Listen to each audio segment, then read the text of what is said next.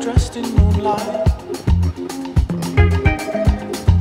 redder than mine.